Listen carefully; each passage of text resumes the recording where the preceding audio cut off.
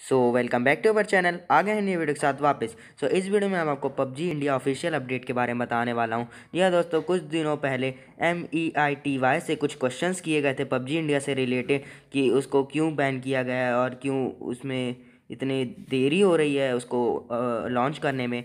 तो अभी कल उसके कुछ रिस्पॉन्स आए हैं जिसको मैं अभी अपने वीडियो में बताने वाला हूँ। तो पूरा वॉच करिएगा इस वीडियो को। और एक चीज़ मैं आपको एक और से याद दिलाना चाहता हूँ। अगर आपने अभी तक मेरे चैनल को लाइक शेयर और सब्सक्राइब नहीं किया है तो फटाफट से जाके अभी लाइक शेयर और सब्सक्राइब कर दीजिएगा और पूरा वीडियो वॉच करिएगा तभी आपको न्यूज़ अच्छे से पता चल पाएगी। तो चलिए स्टार्ट करते हैं।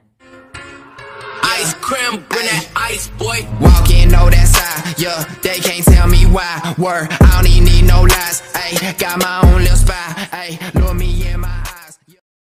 तो सबसे पहले मैं आपको बताने वाला हूँ जो आर टी आई है राइट टू इन्फॉर्मेशन उन्होंने सबसे पहले कहा है PUBG mobile not blocked in India as a whole entity उनको मतलब पूरी तरीके से पूरा ब्लॉक नहीं किया था जो कि अभी उनके तरफ़ से वाला रिस्पांस निकल के आ रहा है दूसरा रिस्पांस मैं आपको बताऊँ तो ये रहे कुछ क्वेश्चन जो कि उनसे पूछा गया था। विल न्यू ऐप अब G India will be publish by और जितने भी आप है, पूरा पढ़ लीजिएगा, आपको स्क्रीन पे दिख ही रहा होगा। तो ये उनसे पूरे तीन क्वेश्चन पूछे गए थे M E I T Y से, जो कि उसका अब रिस्पॉन्स ये रहा।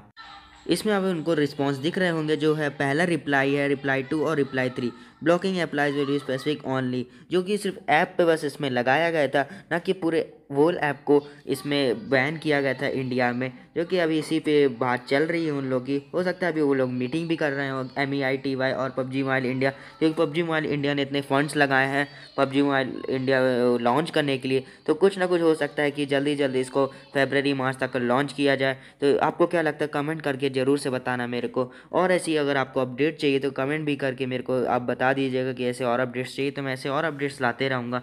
तब तक के लिए